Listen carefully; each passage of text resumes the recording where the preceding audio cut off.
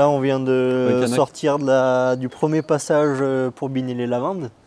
Et donc ça, c'est ce qu'on utilise, un actisol. Ah, ah. On, À pas de doigts, là. on bine l'interrang. Avec des pas de doigts pour. euh, Et après, on essaie par contre de travailler pas trop profond parce que c'est toujours pareil. Ici, on a beaucoup, beaucoup de pierres. Donc, euh, Ah ouais, bah, plus tu vas profond, plus tu vas ah, remonter, plus des... on en sort. plus tu vas remonter des pierres. voilà.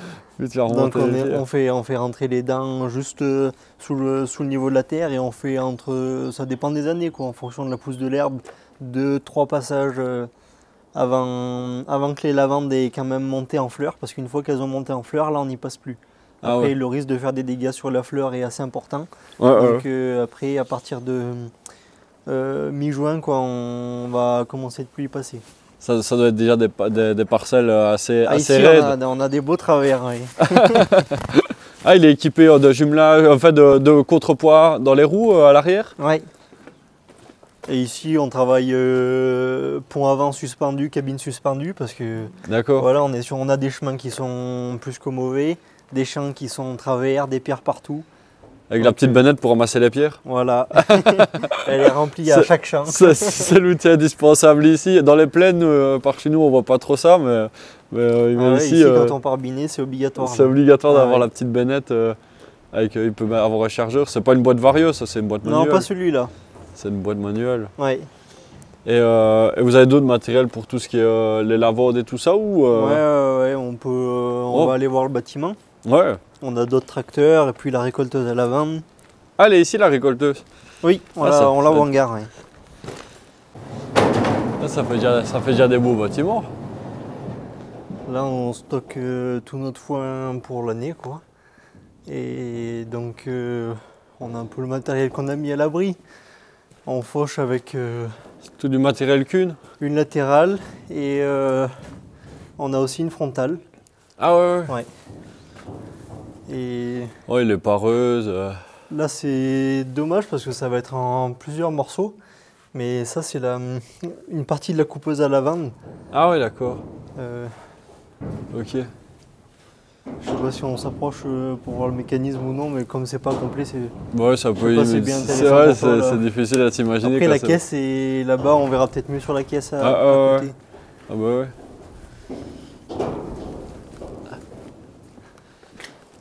On a le vieux Dorado qui sert un peu de, de tout quoi. Ouais, ouais, c'est un peu tracteur tracteur polyvalent sur qui l'exploitation. Qui, fait un peu tout. Ah ouais, là, il y a un beau jouet déjà. Ouais, là c'est un N134. Et celui-là on, En vario on a alors. pris ouais, un vario et puis on a pris euh, pas mal d'options. On a le poste inversé sur celui-là. Ah ouais, poste inversé. Ouais. Il vous sert à quoi le poste inversé Et euh ben, on veut faire du broyage parce qu'on fait évidemment pas mal de broyage ici. Ouais. On a des champs qui sont vite euh, refermés, beaucoup de végétation autour. Donc on fait beaucoup beaucoup de broyage et donc on veut mettre un peu le broyeur derrière. On a la pareil la faucheuse frontale. euh, on va voir pour la mettre un peu derrière. On a euh, après on a hum, pas mal d'outils qui peuvent se mettre derrière. On, on va après c'est pareil pour les lavandes. On a envisagé un petit peu de d'avoir une bineuse de précision. D'accord. Et donc, euh, pour ça, ça nous permettrait de pouvoir faire le travail et être en vue de, Ouais, ouais. de l'attelage et faire le minage de précision. Quoi. Ah ouais, ça c'est bien. On, qu'on arrive à passer euh, euh, suivant les prairies pour venir casser un peu toute la mauvaise structure euh, qui, qui s'est créée en surface parce que nous, dans nos prairies, on a pas mal de, de mousses qui se forment, des mauvaises herbes. Et hum, de temps en temps, on aime bien la passer un coup pour, euh, pour euh, la gratter un petit peu. Ah ouais, ça, ouais, comme un genre de scarificateur, quoi. Voilà. Comme pour scarifier. Et ça étale en même temps un peu les taupinières qu'il y a. aussi. Enfin, à mon avis, les taupes doivent être courageuses ici avec les pierres. Ouais, mais il y en a quand même. Ah ouais, il y en a Ah quand ouais, même y en a quand même. Elles Ah sont ouais. quand même là. Et puis, après, voilà, on, on, on essaye aussi un peu le, le sursemis en prairie. Ah ouais, le sursemis, ouais, qui- ouais. Ça donne des résultats de, ou- de, de marcher, ouais. On a fait plusieurs essais et ça a l'air de pas mal marcher. Puis après, la RC Tri, on s'en sert aussi pour les jeunes lavandes parce que la, la première année, on fait des plants de lavande qui sont pas gros, quoi, qu'on sort de, de la serre. Ouais. Et hum, ça, ça nous permet de gratter l'air. Par contre, il faut le passer assez régulièrement. Mais gratter l'herbe et casser toute la petite herbe qui va commencer à prendre. Ouais, Parce ouais. que par exemple, avec le petit sol, on va pas forcément le passer sur les jeunes lavandes.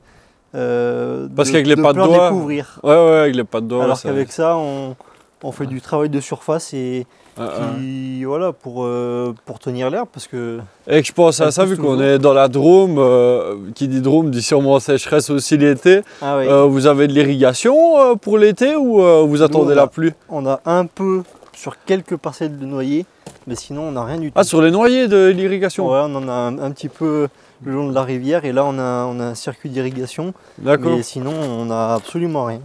Ouais, l'année passée, ça a dû aller. Parce que je pense qu'il y a- il y, a quand même eu de l'eau quand même l'année Il y a passée. eu de l'eau, par contre, euh, mois d'août c'était très très sec. Ah ouais, ouais. Euh, Ouais. Le mois d'août ça a fait souffrir Ouais, c'est en euh, les noyers, euh. même les, même les lavandes, euh, on pense qu'il y en a qui ont souffert un peu à cause de ça. Ah ouais, ouais. Et nous en lavande, on Les noyers, c'est ceux qu'on voit là ça c'est ceux du voisin. Ça, c'est ceux du Et voisin. après là on a les serres et là on produit euh, nos, nos plantes de, de lavande. On a des... Ah, c'est vous qui produisez ça aussi on a Vous bouturez euh, Vous faites on- du On a bouturage de la maillette, donc là on va faire du bouturage sur la maillette. D'accord. Là on les a fait euh, la semaine dernière pour l'année prochaine quoi. Ouais. On fait le bouturage, on replante euh, à côté euh, extérieur, en plein air quoi. Et l'année prochaine après on arrache et on replante en plein champ. Ah ouais. Et après on a ici on fait beaucoup de lavande fine. Donc ça c'est la lavande euh, entre guillemets sauvage quoi. Ouais, ouais, ouais. Et celle-là, c'est la seule qu'on peut semer. Et donc, on fait des semis sous serre euh, qu'on va entretenir parce que le temps qu'elle monte, euh, il y a pas mal de binage à y faire à l'intérieur. Et puis l'année d'après, on arrache et on replante en plein champ aussi. Mais planter, c'est avec des machines ou tout manuel ça? Non, on a une machine monorin. C'est les machines où on s'assied. euh, voilà. Ah ouais, Et on ouais, met les plans par plat à intervalles réguliers. Ah. Et après, on a essayé. euh, ça, c'est un peu délicat, mais on essaye de plus en plus euh, de, de faire un semis directement de la graine en champ, Ah ouais. en lavande. Après, il y a des. C'est assez irrégulier. soit vous allez avoir une super belle levée, soit Ça vraiment dépend des conditions, Et quoi. donc, ouais, les conditions, c'est c'est un peu compliqué pour ça. Mais ça commence à faire ça. Vu qu'on n'a plus trop de saison, c'est un peu compliqué Voilà. aussi de gérer tout ça. Ah ouais, quand tu sèmes comme ça, t'as pas intérêt à avoir un gros orage, quoi, parce que sinon.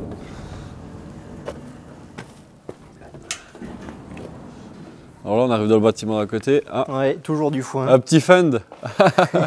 c'est quoi C'est euh, un tuyau compresseur. Ah ouais, un tuyau Ouais, compresseur. c'est le compresseur. c'est pourquoi vous avez équipé ça pour souffler vos machines euh, Ouais, c'est- ouais. c'est la première, Ce première a, fois que c'est je vois qu'on ça. a des, on a des, hum, des parcelles qui sont vraiment éloignées.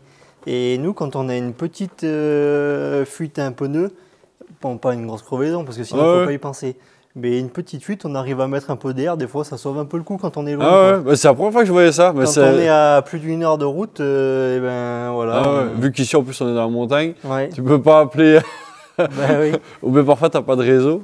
Mais euh, ah ouais, c'est vraiment pas mal. Mais même pour souffler ton matériel et tout ça, c'est Ouais, ouais. Celui-là, on l'a pris en boîte Vario, c'est un 210. Oh, il, a, il est assez récent aussi celui-là. Ouais. Et ça, c'est un tracteur qui est assez léger, euh, qui est hum, bien pour nous pour la pinte. Il a, hum, il a euh, voilà, une carrure qui est assez large, qui est bien stable. Le poids est assez bas. Il n'y a pas de poids haut avec une cabine haute. C'est pas une cabine lourde. C'est un tracteur assez léger. Et pour nous, dans les pentes, ça nous va pas mal. Ah bah ouais, ouais. Et toujours avec la petite bennette pour les pierres. Elle est toujours là. il en faut une sur chaque tracteur. Sur chaque tra- tracteur, il est équipé pour les pierres. Mais du coup, après, il doit y avoir des sacrés tas de pierres. Ah oui, dans tous les coins de champ, là, c'est inévitable. Et le- nous encore, c'est rien ce qu'on enlève nous, mais toutes les générations qu'on n'a même pas connues, Ouais. euh, les champs, c'est impressionnant, c'est des montagnes de pierres. Avant, ils enlevaient tout à la main pour pouvoir punaise. cultiver. Et c'est vraiment des montagnes de pierres dans les coins des champs ici. Ah, ah. Et ça, c'est aussi le stock euh, de fourrage pour. euh, Ouais. Il en reste déjà pas mal encore. Oui, oui, oui. Il y en a encore pas mal. Après, voilà, on a toujours un petit surplus que- qu'on vend un petit peu parce que euh, pour faire du lait, il faut aussi du foin de qualité. de quoi. qualité, ouais, pas et du vieux comme l'année dernière, euh, on s'est fait avoir comme beaucoup dans le coin, quoi. Enfin, avoir. C'est le jeu de la météo, mais Ouais, ouais, euh, on a eu des pluies qui ont traîné tout le mois de mai. monté Jusque- en on a démarré à faucher au 15 juin. Et en fait, c'était ultra mûr. Alors, on a eu des quantités de foin qui étaient. Ouais, mais c'était tout Énorme. deux fois qui était monté en semence, mais voilà, ça avait. Qui- qui avait plus, euh, des côtes énormes et puis. Ah. Ça n'a pas fait de la qualité du tout. Et pour faire du lait, ça c'est compliqué. Hein, hein. Donc, ce foin-là, euh, on en passe faut toujours du un jeune petit peu. pour. euh, Mais les quantités qu'on a eues et la qualité que c'est, c'est pas bien pour faire du lait, quoi. Ah ouais, ouais. Ben ouais. La météo, pas évident. Mais par contre, celui-là qu'on voit là, c'est de la luzerne, ça Ouais. Ce qu'on voit là, parce que c'est vachement euh, vert. Luzerne seconde coupe, ça. Ah ouais, on voit bien que c'est la bonne marchandise, ça. Après, euh, C'est quoi comme à presse qui fait- qui fait euh, ces ballots-là C'est Newland. Ah d'accord. Ok, c'est vraiment On un petit arrive à galet faire euh, de temps en temps une troisième coupe. Ouais, La quatrième, c'est très rare, c'est exceptionnel assez exceptionnel. Mais déjà la troisième, c'est pas tout le temps qu'on y a le droit. D'accord. Et après, de temps en temps, on dit regagne près quand on arrive à enfocher quelques-uns bonheur. Après, Ok. c'est pas des quantités qui sont, qui sont énormes du tout. Mais quand on peut les faire, on les fait parce que ça, le regagne près ici, c'est vraiment bon en Ah, qualité. quoi. D'accord. Mais c'est marrant, ces petits euh, bottes comme ça, euh, ces petits galets, ça doit être facile à transporter. Enfin, quand on veut prendre des paquets comme ça, Puis c'est... pour aller les chercher dans les champs, on est toujours dans des champs qui sont en pente. Ah Donc, ouais, ouais, euh, c'est La balle ronde, pour la poser, ben, Elle s'arrête chez le voisin dans le salon. voilà, il faut qu'ils aillent euh, remonter à la cime du champ, là où c'est un peu plus droit, Ouais, pour la pour déposer. pouvoir la poser. Et donc nous, on a pris Ouais, cette solution-là, qui nous va bien. hein. J'avais fait même, euh, justement une vidéo comme ça. Qui faisait des balles rondes, qui remontait à chaque fois, déposer ses balles rondes ouais, en ouais. Haute-Savoie, dans- au Grand Bornand. Puis même en stockage, du coup, on perd pas trop de place, quoi. Ouais, pour ouais, ouais. ça. Ah bah ouais, c'est vrai que euh, c'est pas mal. C'est pas mal. Bon, bon, on voit bien même à à l'image que c'est de, de la bonne qualité comme Ouais. ça, bien vert. Ah bah voilà. Ah, vous êtes pas mal équipés quoi, avec les bâtiments et tout ça. Ouais, C'est. euh, important de tout mettre à l'abri. Ah ouais, il y a encore un bâtiment là. Après, on est un peu enclavé dans le village, c'est pour ça que là, dans cette partie, on est un peu plus à l'écart, quoi. Ouais, ouais, bah, bon, c'est- euh, c'est pas, pas comme si c'était à 6 km quoi. ça marche aussi. hein. C'est euh, c'est bien aussi quoi.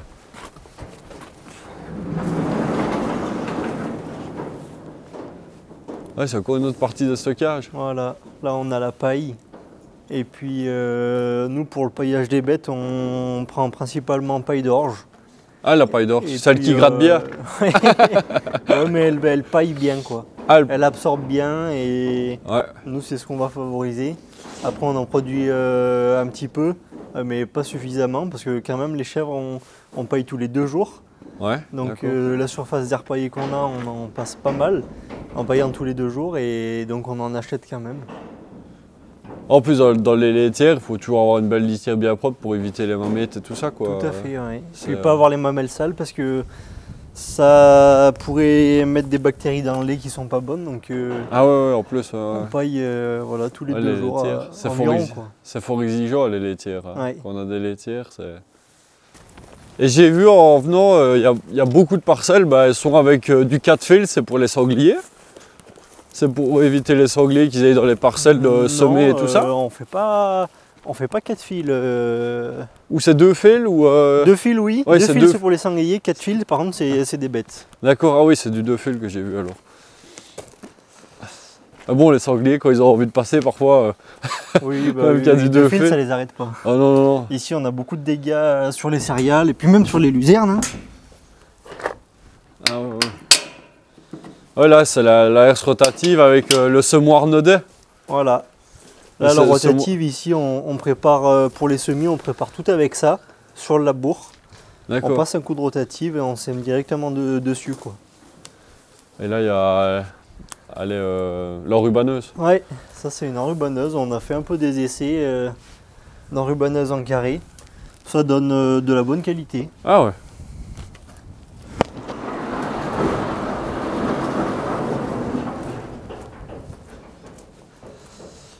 Et alors là, Là, on a la presse.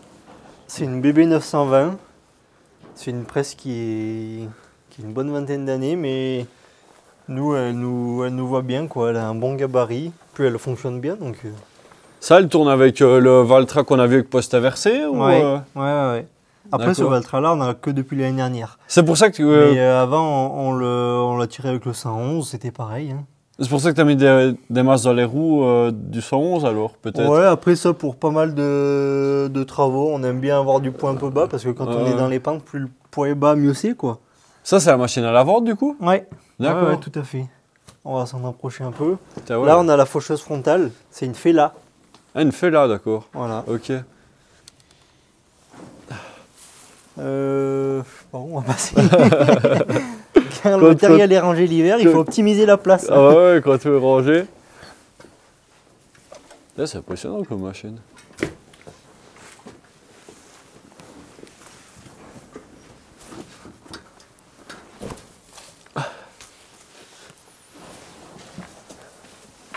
Ah oui, un tapis à, à chaîne sur le côté comme ça? Ouais. Et alors ça se, remet- ça se met sur, euh, sur le relevage du tracteur, c'est ça? C'est ça. Donc ça, on attelle la caisse derrière? Tiens, il y en a déjà des flexibles là. Ah mais là oui, ça on utilise beaucoup parce qu'il y a beaucoup de, de vérins et de petites fonctionnalités. Là on attelle ça donc derrière? À l'intérieur, là on a un tapis qui prend effet ici et qui va sur le côté droit du tracteur. Et Ouais. sur le côté droit, on va avoir euh, la coupe. Donc c'est deux becs donc, qui vont passer de chaque côté du rang de la lavande. Ah, c'est un peu comme des becs de maïs quoi. Plus. euh, Pas, pas vraiment, on ira la voir tout à l'heure. Euh, donc le tapis qui se met sur le côté droit du tracteur. Et avec euh, une coupe sur le côté droit, le tapis qui va monter la lavande dans la caisse. D'accord. Et dedans, il y a un système de chaîne là qui va tourner, qui permet simplement de, de mettre une plus grosse quantité dedans. En faisant tourner, on va tasser la lavande vers le fond. Et Ensuite, quand la benne est pleine, on va la vider au coin du champ. D'accord. Euh, C'est ça alors la porte qui s'ouvre? Non. la, porte, elle s'ouvre voilà, de, de ce Oh, côté-là. Ouais, de ce côté-là avec le- la chaîne pour, Ouais, être- ouais. pour décharger la marchandise. C'est ça. D'accord. Un peu le même système qu'une pailleuse qui a, qui a un système à chaîne Oui, pour oui, faire oui, avancer la marchandise. quoi. D'accord. Et tout est sur l'hydraulique, alors il n'y a rien par. Ah si, il y a quand même un quart d'heure. euh, Parce Oui. que tu as ton moteur, euh, enfin, tu as un réservoir hydraulique qui est là. Quoi, en Oui, il y a un moteur là. D'accord, moteur. C'est ouais, ouais. Ouais, c'est complexe comme machine. Il faut savoir la, pil- Après, la, c'est- la piloter quoi aussi, hein, à mon Ah, c'est sûr. Parce qu'en plus. euh, C'est toujours le grand-père qui la pilote et Ah ouais?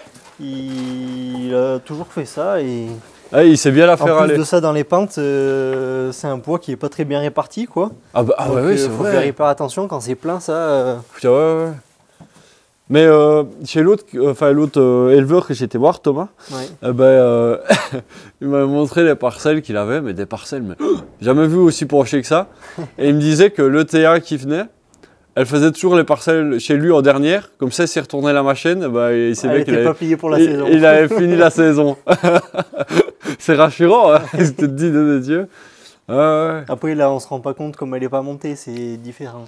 Mais du coup, la benne, euh, elle attend au coin du champ alors, parce qu'elle te suit pas dans, dans la lavande pour décharger. Nous, euh, pour euh, la lavande, donc on coupe et on va la distiller que le lendemain. D'accord. Donc on fait des un peu comme un comme des andins. Là, avec la caisse, avec les chaînes qui tournent, en avançant en même temps, il arrive à faire un andin assez long pour que la lavande elle sèche. Et le but de la sécher, c'est de faire une naissance euh, entre guillemets de meilleure qualité. D'accord. Et hum, donc on laisse souvent ouais, euh, 24 heures de séchage et ensuite on distille. D'accord. Ça ouais. Ouais. Là, c'est déjà au boulot. Hein. Oh. Non, on dirait pas comme ça. Moi, je pensais que tu coupais, puis c'était terminé, et puis que ça allait, ça allait assez vite, quoi. Un peu comme, un, un comme, travail un, qui est aussi comme un ensilage, quoi. Mais... Il y a un travail qui est aussi pas mal, c'est que derrière ça, donc on va euh, couper, sécher et ramasser le lendemain. Le lendemain, euh, on a des, des- nous on appelle ça des caissons, donc c'est des grandes remorques. Euh, dedans, on va le charger avec le, avec un chargeur, quoi, Ouais. chargeur crocodile. Et hum, il faut être à l'intérieur de la benne pour tasser la lavande. Parce que si la lavande, elle est trop aérée, qu'on la pose comme ça avec le godet en vrac, Ouais. la lavande, elle est trop aérée. Et quand on va balancer le gaz à l'intérieur, en bas de la remorque, il y a une entrée de gaz, on balance la vapeur. Dessus, on y met un chapeau, donc le caisson est hermétique. Ouais. Si on balance la vapeur, que la lavande n'est pas tassée, la vapeur, elle va passer à travers, mais elle va pas assez faire son effet pour euh, euh, distiller et faire Ouais, remonter les essences. C'est pour ça qu'il faut vraiment que ce soit tassé. Donc souvent, on y est un, deux dans le hum, caisson et à mesure, on a une fourche. On tasse, on répartit tout dans le caisson et on tasse, on vient piétiner la lavande pour que vraiment elle se soit bien égalisée et que ce soit tassé. Et à ce moment-là, quand c'est tassé, là, la vapeur agit bien, ça fait remonter un maximum d'essence. D'accord. Ah ouais, c'est technique. Ouais. C'est technique. Peut-être ce serait une belle vidéo à faire, ça, une récolte de lavande de A à Z. Ça Ouais, si t'es par là, c'est sûr, euh, moins Ah. entre, à partir de entre mi-juillet et fin août. Ah ouais, bon, cette année c'est un peu compliqué. Ah mais- bah là, ah, quand t'es en montagne. Mais, euh, mais ouais, ouais ça, ça peut être vraiment un chantier intéressant. Et puis c'est pas courant surtout. Ouais. C'est pas courant. Donc euh, ça c'est beaucoup, des cultures comme ça, c'est beaucoup dans la Drôme. C'est quels départements qui sont vraiment euh, ciblés pour faire de la lavande c'est- On va dire que c'est beaucoup déjà le, le sud-est, quoi. Ah ouais, ouais. Parce que, je veux dire, on, on pouvez descendre euh, plusieurs départements dans le sud, euh, ils se cultivent de la lavande. C'est très typique du sud Méditerranée, quoi. D'accord, ok. Et Ah, Est-ce qu'il faut avoir euh, les terrains pour et puis les conditions les climatiques terrains pour et le climat, oui. Ouais, ouais. De toute façon, on le voit, ici, la lavande, elle pousse naturellement. Donc partout là où elle pousse naturellement, on peut la cultiver. D'accord. euh,